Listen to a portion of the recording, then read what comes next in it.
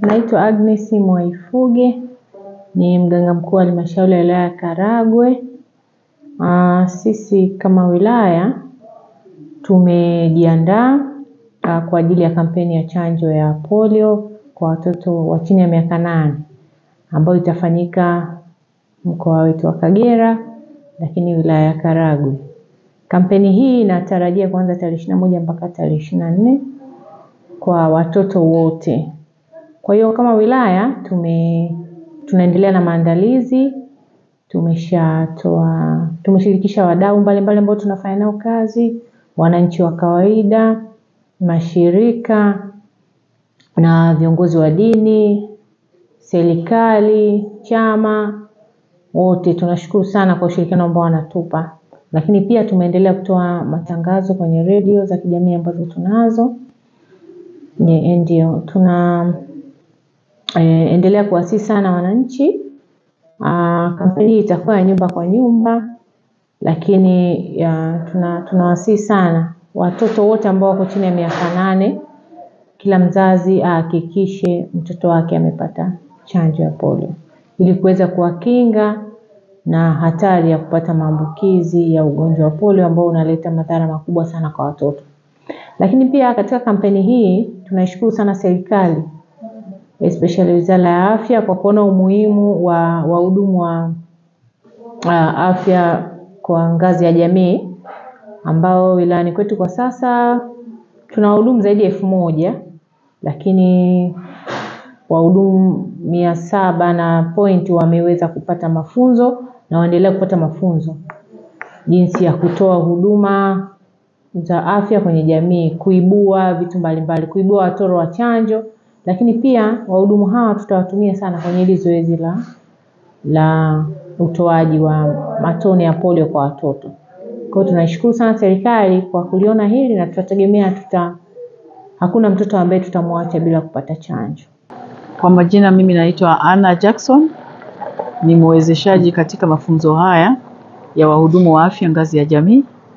Tunashukuru tumeanza mafunzo haya toka Jumatatu tukiwa na wahudumu wa afya ngazi ya jamii takriban tisini na tano katika ukumbi huu.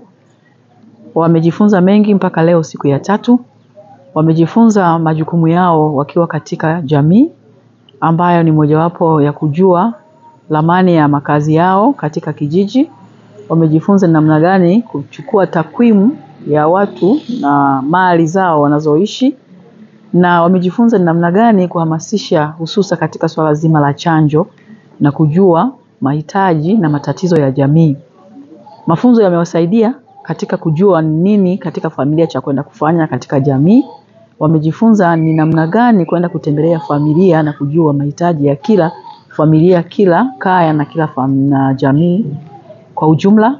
Vile vile yamewasaidia sana katika suala la kutambua ni nini wahudumie jamii hususa katika watoto walio chini ya miaka mitano katika swala zima la chanjo, na wamefurahia kujua majukumu yao yanayowataka wafanye kutekeleza wajibu wao wakiwa katika jamii, katika kuhudumia jamii.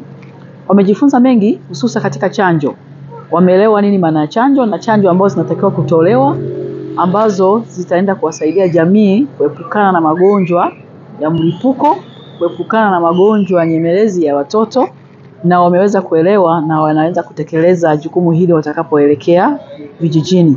Vile vile wamejifunza namna gani ya kwenda kuhamasisha jamii katika masuala mbalimbali, hususa katika kujua mahitaji ya jamii na kujua matatizo namna gani wayatatue, na wamejifunza namna gani kumsaidia mama anapokuwa mjamzito katika kumsaidia kuwahi kituo cha kutolea huduma na namna gani wamsaidie kama mtu ameshindwa kwenda kupata huduma za za afya na waweze kumsaidia katika kuandika referral na katika mambo mengi ambayo wanaweza kuisaidia jamii.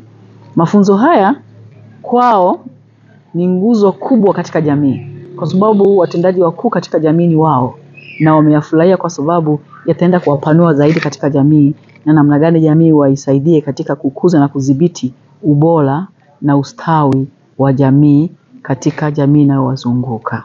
Wito wangu kwa jamii ni kuwapa ushirikiano hawa wahudumu wa afya ngazi ya jamii, kwa maana wakiwa peke yao hawatafanya, lakini wakiwa na ushirikiano kati ya mtoa huduma na wao jamii itawasaidia elimu hii kuipeleka kwa uharaka na kuelewa kwa uharaka jamii. Na jamii kuondokana na miundo dume au miundo ambayo haiko katika msingi, na wakileta ushirikiano, jamii zitaelimika na jamii zitapata manufaa sana kwa kuwatumia hawa wahudumu wa afya ngazi ya jamii. Kwa jina naitwa Yusufu Mohamed Amani, natokea kijiji Mtukula, kata Mtukula. Nimekuja kwa ajili ya kuhudhuria mafunzo ya mtoa huduma kwa jamii, na hivyo nichukue fursa hii kushukuru serikali kwa ujumla, hasa hususani rais wetu ambaye amekaa na kufikiria pamoja na na huduma za jamii kuona kwamba zinaweza zikafika kwenye jamii na zikasaidia, kwa sababu pengine elimu ilikuwa ni ndogo, lakini hivi sasa elimu imeenda kutapakaa, maake wahudumu wamejifunza ipaswavyo na wameelimishwa juu ya kusambaza chanjo, hivyo na matumaini wananchi watuamini na sisi tuko tayari kuwahudumia, maana wametuchagua wakituamini, pia watuamini na pale tutakapokwenda kutoa hii huduma.